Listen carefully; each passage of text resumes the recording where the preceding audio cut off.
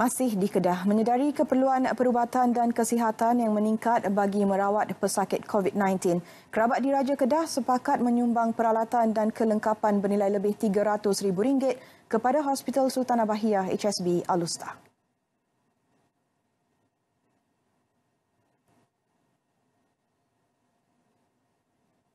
Selain Sultan Kedah Sultan Salehuddin Ibni Almarhum Sultan Badli Shah dan Sultanah Kedah Sultanah Maliha Tengku Arif, turut sama menyumbang adalah Raja Muda Kedah Tengku Sarafuddin Badli Shah, Raja Puan Muda Kedah Cik Puan Muda Zahidah dan Tengku Laksamana Kedah Datuk Seri Diraja Tunku Syazuddin Arif.